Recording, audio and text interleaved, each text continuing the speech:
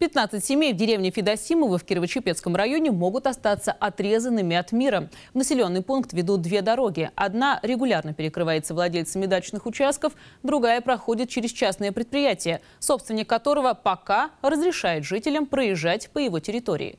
При этом все пути в деревню никем не обслуживаются. Какие способы решения предлагают власти и почему они не устраивают жителей? В нашем следующем репортаже.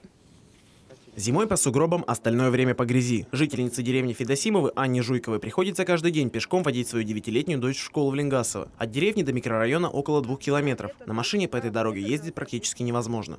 Это просто, просто грязь. Мы идем в резине, переодеваем в Ленгасово хорошую э, э, обувь и идем вот так вот в школу. И это вот каждый день так получается? Ну, в понедельник, пятница. Вот так у нас пятидневка так получается, соответственно. Эта дорога проходит через садоводческие товарищества. Зимой она не чистится, а весной владельцы участков обычно закрывают путь через свой дачный поселок, чтобы дать дороге просохнуть. Другой выезд из деревни ведет в Посегово, но и тут ситуация не лучше. Эту дорогу, говорит Алексей Чернядьев, никто не обслуживает. Со стороны Посегова вот единственная дорога у нас проходит, сейчас я только говорил, по этим по землям долевой собственности. Можно ее искать нету. Вот тут мы здесь стоим, это проходит частная пилорама. Вот мы тут нет, не обязаны ездить. Угу. Есть, есть у него свой хозяин. Именно поэтому администрация Кирово-Чепецкого района не может поставить эту дорогу на баланс. Не помогают и многочисленные обращения к властям в прокуратуру и суд. В ответах ссылаются на букву закона. На планах дороги нет, а в населенном пункте юридически никто не живет. Хотя по факту в деревне постоянно проживает больше 10 семей. Приходит ответ, этот же не сам одинаковый.